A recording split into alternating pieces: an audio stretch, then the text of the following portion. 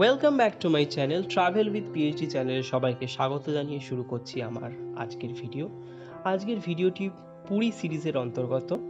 তো পুরী সিরিজের বাকি ভিডিওগুলো যদি আপনারা না দেখে থাকেন, তাহলে অবশ্যই ডেসক্রিপশানে দেখুন, সেখানে লিঙ্ক পেয়ে যাবেন। তো সেই ভিডিওগুলো দেখলে আজকের ভিডিওটা সম্পর্কে জানতে আপনাদের আরও সুবিধা হবে।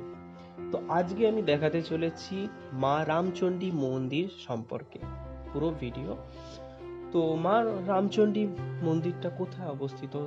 সবার আগে প্রশ্ন জাগতে পারে। তো এটা পুরী থেকে পঁচিশ কিলোমিটার দূরে অবস্থিত এবং কোণার্ক থেকে দশ কিলোমিটার দূরে। মানে লোকেশনটা একেবারে বঙ্গোপসাগরের ধারে, পুরী এবং কোণার্কের মাঝে অবস্থিত।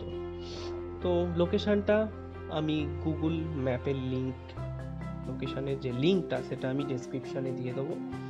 তো জায়গাটা খুবই ফাঁকা জায়গা বাট খুবই সুন্দর জায়গা। সেরকমভাবে জমজমাট না। তো কিছু মিষ্টির দোকান আছে এখানে, কিছু স্ন্যাক্স টিফিনেরও দোকান আছে এখানে। এছাড়াও প্রচুর গিফট শপ আছে। এখানে যেখানে আপনারা হ্যাট থেকে শুরু করে বিভিন্ন ধরনের ক্র্যাফটও আপনারা পেয়ে যাবেন।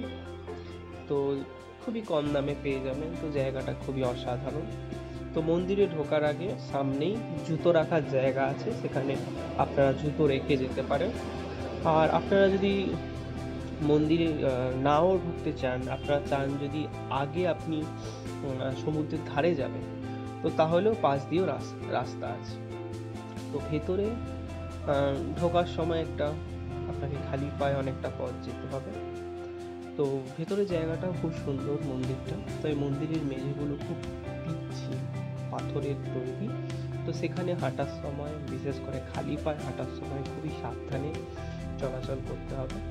মন্দিরের দুপাশটা একটু বালুকাময়, যেহেতু একদম মোহনার ধারে অবস্থিত। তো মোহনা বলতে বলতে চাই, এটা হলো পুরোপুরি বঙ্গোপসাগর নয়। এই জায়গাটা হলো বঙ্গোপসাগর এবং চন্দ্রভাগা নদীর মোহনা। তো দারুণ একটা জায়গা, যেটা মন্দিরের পিছনেই অবস্থিত। আর মন্দিরটা মেনলি হনুমান এবং রামের মন্দির মন্দির। হনুমান এবং রামকে নিয়ে এই মন্দিরটার মেন তো মন্দিরের পিছনের লোকেশনটা তো অসাধারণ। সেখানে আপনারা চাইলে অনেকক্ষণ ধরে বসতেও পারবেন। সময় কাটাতে পারবেন, বিশেষ করে ফটো শ্যুট করতে পারবেন নেচার ফটোগ্রাফি করতে পারবেন। এছাড়াও এখানে বোটিংয়ের অপশান আছে। তো বোটিং করতে দু হাজার কুড়ির মার্চ মাসের রেট অনুযায়ী এক ঘন্টায় দেড়শো টাকা পার হেড তো বিভিন্ন ধরনের বোটিং আছে, সেখানে গেলে আপনারা দেখতে পাবেন। তো জায়গাটা সত্যি বলতে অসাধারণ, আপনারা সামনে দেখতে পাচ্ছেন। বোট দাঁড়িয়ে আছে যেগুলো, সেইগুলো হলো চন্দ্রভাগা নদী।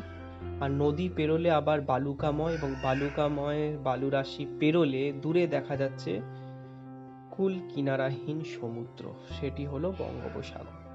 তো জায়গাটা অসাধারণ ছিল এবং যাত্রাপথটাও অসাধারণ।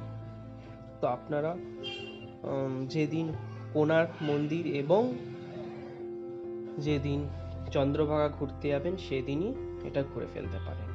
Thanks for watching